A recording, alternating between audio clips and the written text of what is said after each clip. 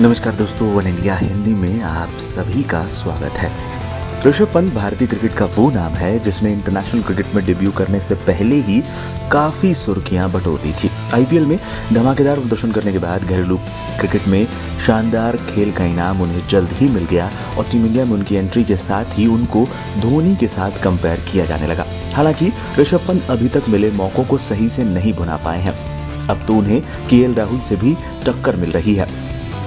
IPL 2020 में धोनी और ऋषभ पंत दोनों के पास मौका था कि वे एक बार फिर अपनी धमक दुनिया को दिखाते, लेकिन कोरोना ने सब कबाड़ा कर दिया। बची हुई उम्मीद अब टी वर्ल्ड कप पर है, जिसकी उम्मीद भी इस साल कम ही लग रही है। कहा जाता है कि धोनी ने कीपिंग की दुनिया में इतना नाम कमाया है कि किसी को भी उनकी बराबरी करने में बहुत समय लगेगा। लेकिन आज हम आपको पंत के ऐसे चार टेस्ट रिकॉर्ड के बारे में बताने जा रहे हैं जो धोनी भी नहीं बना सके हैं। सबसे पहला, इंग्लैंड में शतक का रिकॉर्ड। ऋषभ पंत के पास शानदार प्रतिभा है, ये तो हम सभी जानते हैं।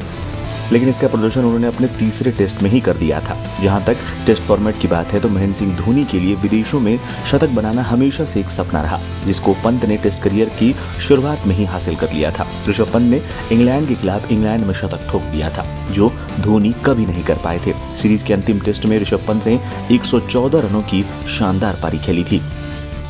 ऑस्ट्रेलिया में ऑस्ट्रेलिया के खिलाफ शतक। दूसरा रिकॉर्ड जिसे करने का धोनी सिर्फ़ सपना ही देख पाए, वो था ऑस्ट्रेलिया में शतक लगाना। ऋषभ पंत ने ऑस्ट्रेलियाई दौरे पर शतक लगाया, जबकि उस समय कंगारू टीम में मिचल स्टार्क, जॉस हेजलवुड और पेट कमिंस शामिल थे। ऋषभ पंत पहले ऐसे भारतीय विकेटकीपर बने थे, जिन्होंने ऑस्ट्रेलिया में शतक लगाया था। सबसे तेज 50 टेस्ट विकेट हासिल करने का रिकॉर्ड।